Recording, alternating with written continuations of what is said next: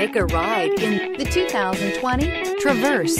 Chevy Traverse is more stylish than minivans and far more fuel and space efficient than truck-based SUVs. Crossovers like the Traverse are excellent family vehicles. This vehicle has less than 100 miles. Here are some of this vehicle's great options. Electronic stability control, power lift gate, brake assist, traction control, remote keyless entry, fog lights, four-wheel disc brakes, speed control, rear window defroster, rear window wiper. This beauty is sure to make you the talk of the neighborhood. So call or drop in for a test drive today.